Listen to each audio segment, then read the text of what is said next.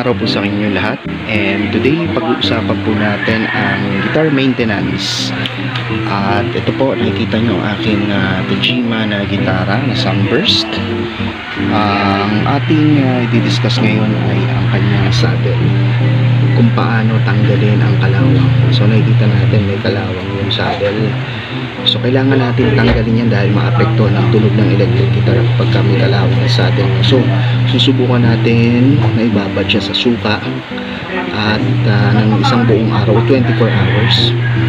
At titignan natin kung anong magiging epekto nito kung mawawala ba yung kalawang. So yan kikita natin may mga kalawang siya. Yan maya maya lang kakalasing ko yung saddle Tap- okay so bali ito na natanggal na natin yung saddle from the guitar so yan na po siya and uh, hinanda na natin ang suka at ang bowl na paggagamitan natin para ibabad ang mga saddles Okay, so gagamit tayo ng local vinegar or uh, suka. Ito na po siya. Yan, lalagay natin sa kanya. Yan. Yan. Yan. And then, yan, hintayin na lang po natin siya for 24 hours. Then, para makita natin kung anong mangyayari. Okay, so ito na yung binabad natin na saddle for 24 hours or more than 24 hours. Ito na yung itsura niya. Nagdinagdagan ko lang ng konting suka and uh, brinash ko lang siya ng konting steel wool. So mamaya maya subukan natin siyang lihain. Titignan natin kung totally mawawala yung kalawang niya. So ayan ang itsura niya ngayon. Right after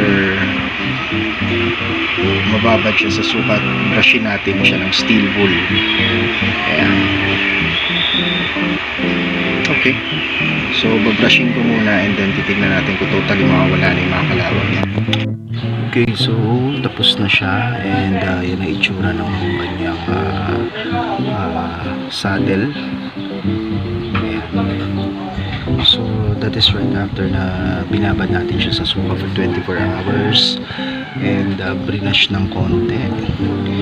And uh, nilinis using DW40 so um, I'm not actually recommending na gawin nyo po ito. Uh, this is just to share my experience kung paano ko tinanggal yung kalawang sa aking saddle ng electric guitar. Because like I said ang kalawang po ay nagpapadal ng tunog or nakakawala ng brilliance ng tunog ng strings uh, which is why nilinis po natin. So ayan yan na po siya.